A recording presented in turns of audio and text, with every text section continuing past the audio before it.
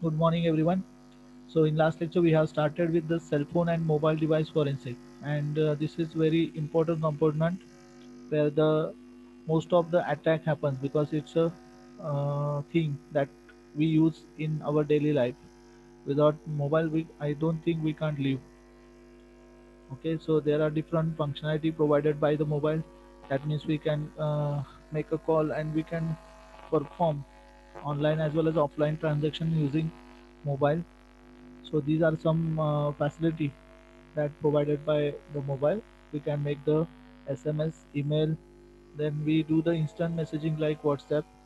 Then we can uh, view the web pages. We can download the photos and videos. We can use the personal calendar, address book, songs, voice recording, and also we perform the different transaction using mobile phone.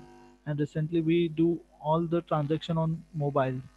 So banking transactions so there must be there must be a chance uh, for the hacker to hack our data and make use of it for the different uh, for performing some online transactions. So for that the role of cyber forensics are very important here so in last lecture we started with the mobile phone basics as we know that in 1970 the mobile um, the Motorola company introduced the cell phone.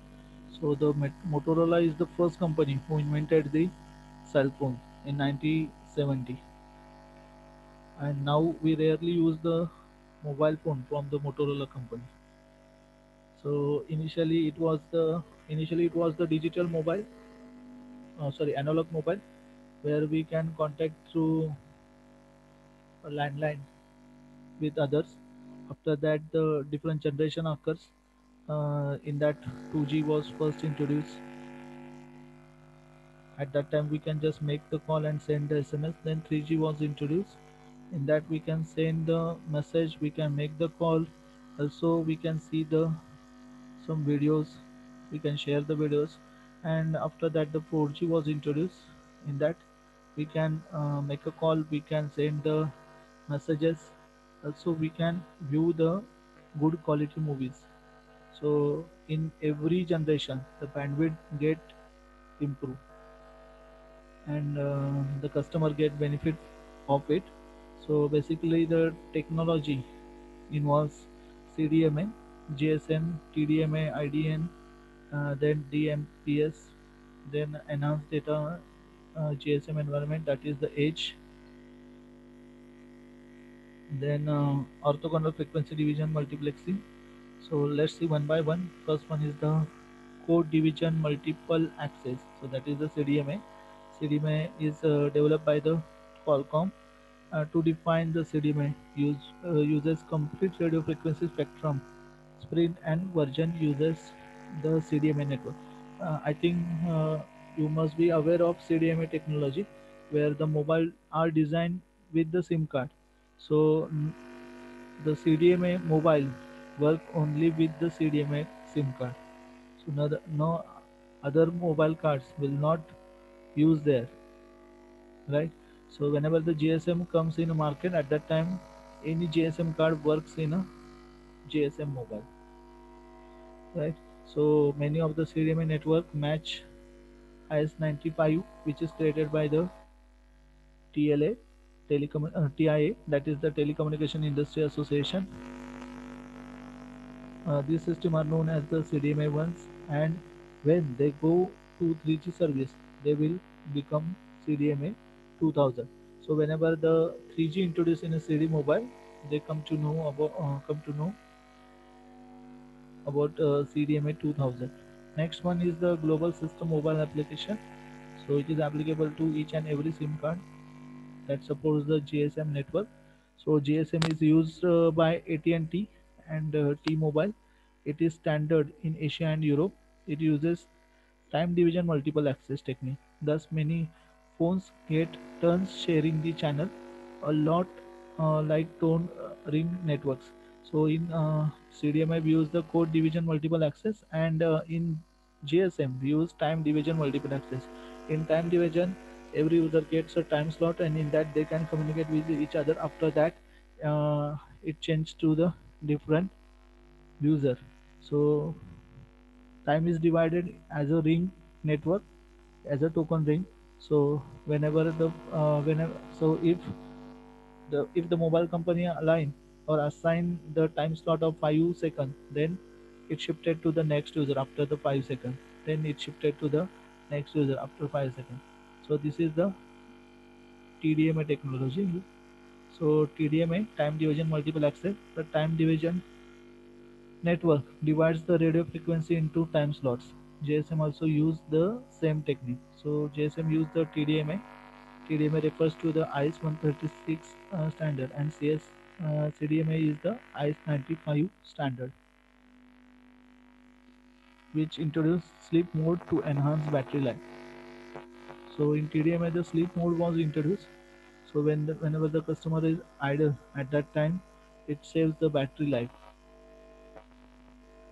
The TDMA can work in the cell phone with the frequency 800 megahertz to 1000 megahertz.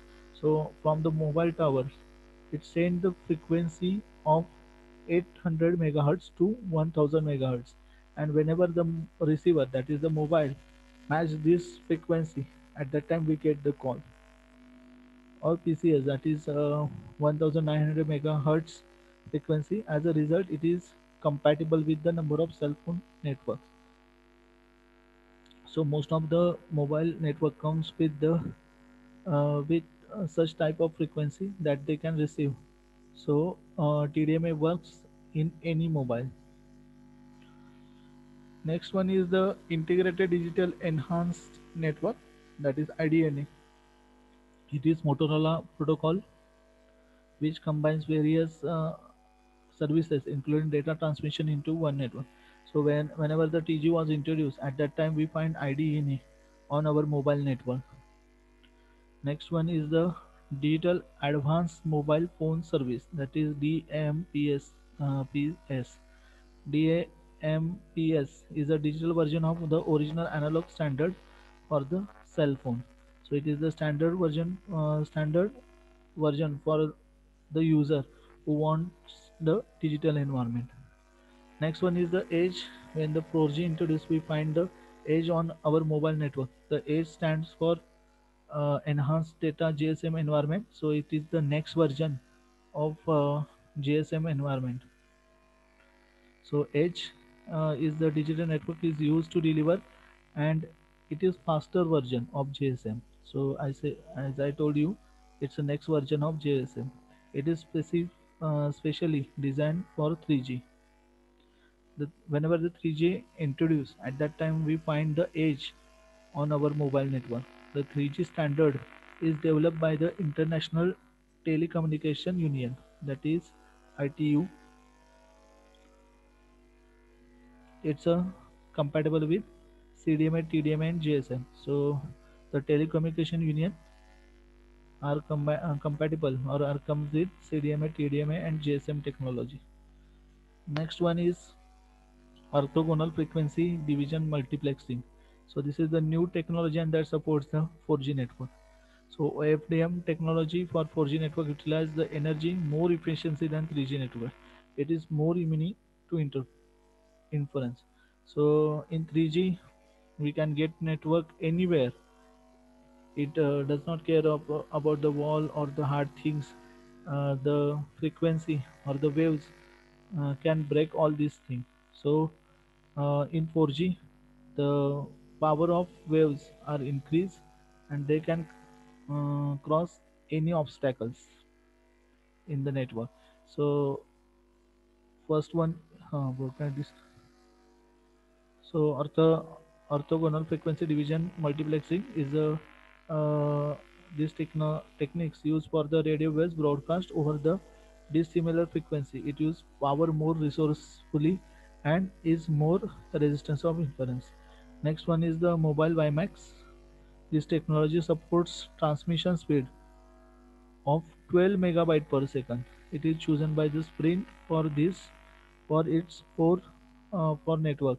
This technology uses the OFDMA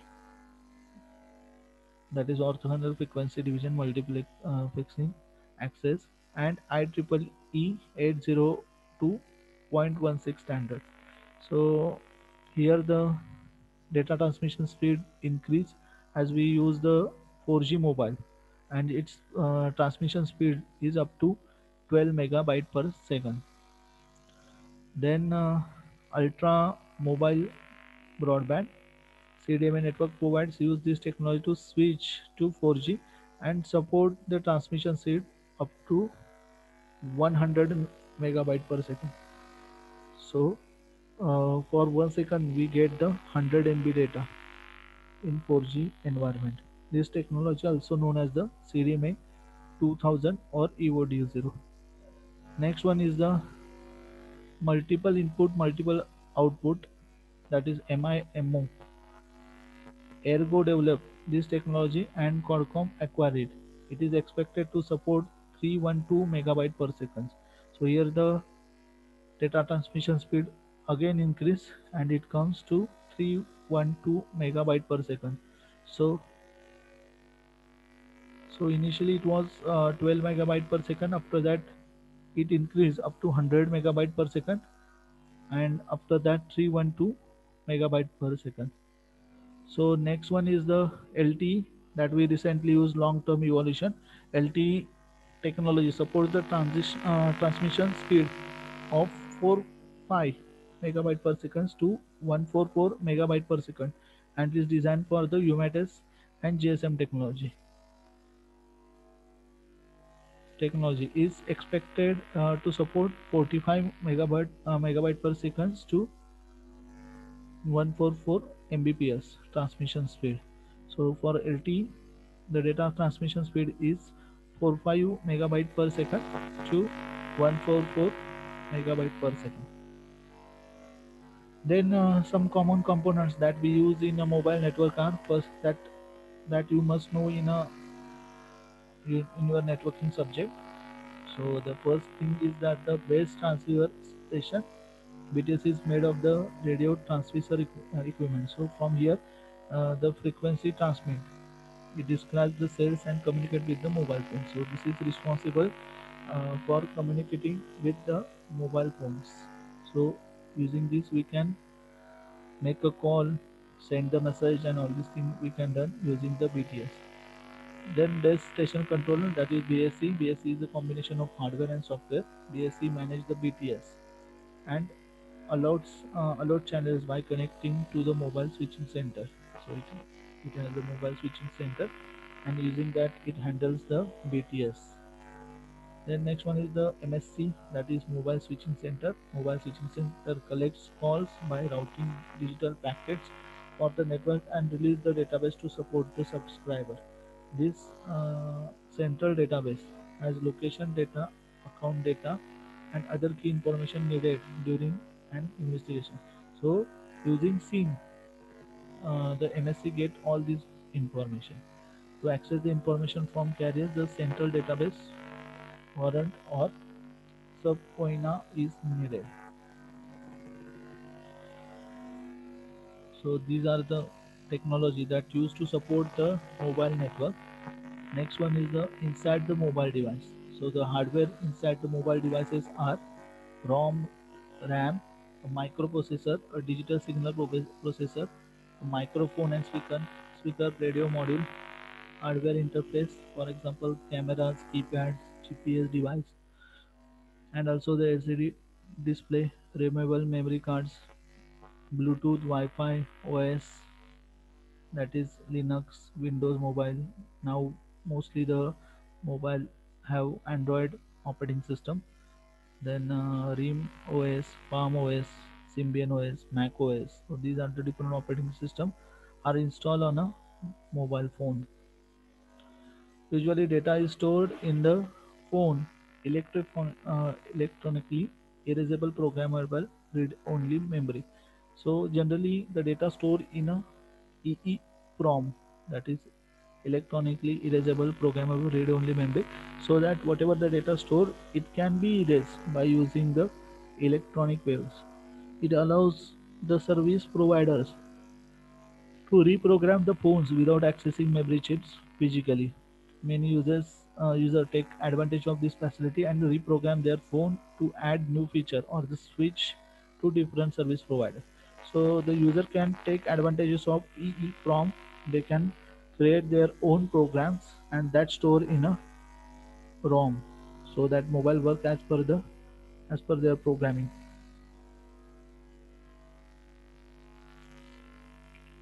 So next one is the sim card.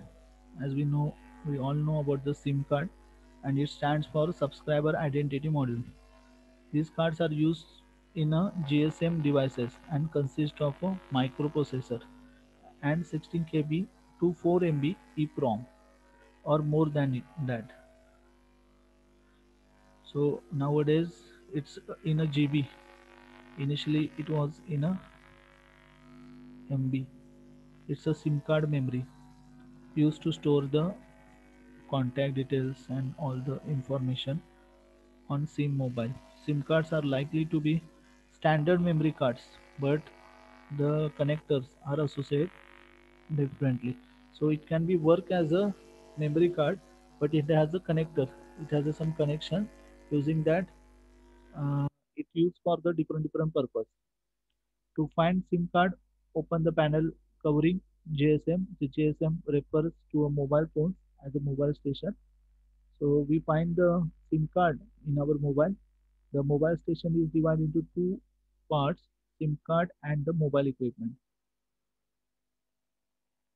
So for mobile, we call it as a handset if it is device. And for SIM card, we call it as a mobile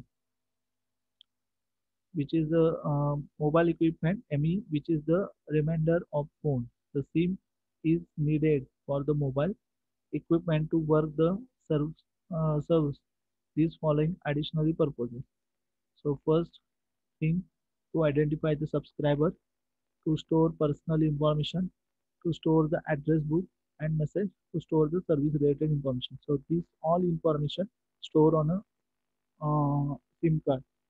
So whenever the tower access the SIM card at that time, it gets all this information about the subscriber, about the subscriber net, uh, network, then personal information of subscriber, what are the contacts stored on a uh, SIM, also get the messages on SIM, and also uh, some service related information stored on a SIM card. You will get SIM card in two size. The most standard size is 0.7 mm thick. SIM card is portable simply by switching. So now uh, there are different versions comes in a SIM card that is nano, micro, micro. Simply by switching the SIM card between the compatible phones, you can move your information to another phone. So SIM cards are uh, portable. So whenever we uh, add the SIM card in different mobile, all the data uh, shift from one mobile to another mobile.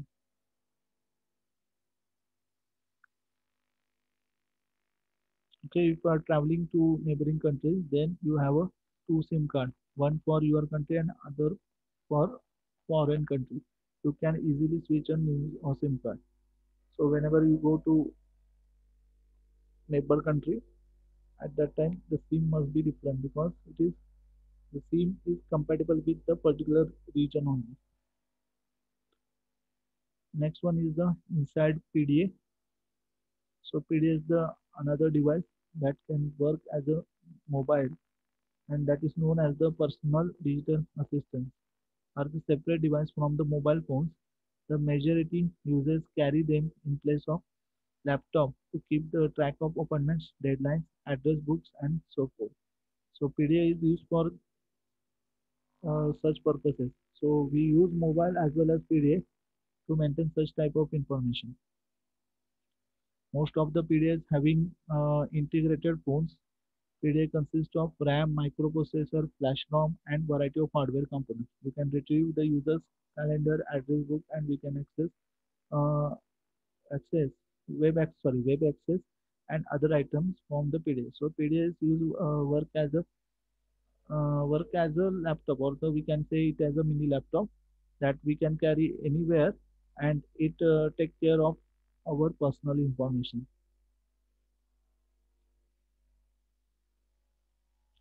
PDA uses many peripheral memory cards. So the memory cards that is used to store in a PDA are first one is the compact flash. These cards are used for the extra storage. Multimedia card that is known as the MMC. These cards are de uh, designed for mobile phones, but you can use with PDA also. And last one is the security digital, that is SD card that we use in recently. These cards are like MMC, only extra security features are added to protect the data. So these are the different types of memory cards that we can use in our mobile as well as PDA. So here we end our session. We have seen today the different technology used in a mobile that is CDMA, GSM, orthogon uh, orthogonal frequency division, multiplexing, GSM, LTE, Edge. Also we discussed the BTS base, uh, then BTS BSC, MSC, and also get information regarding SIM and PDA. If you find any difficulty regarding this, let me know now. Anyone have any difficulty? Ayaz Damini. Okay, you send the message. No, sir. Okay. So it's very easy subject. You can get the theory by just reading it and you can get benefit of it. Okay. So here we end our session. Thank you. You can leave the meeting. Thank you for watching.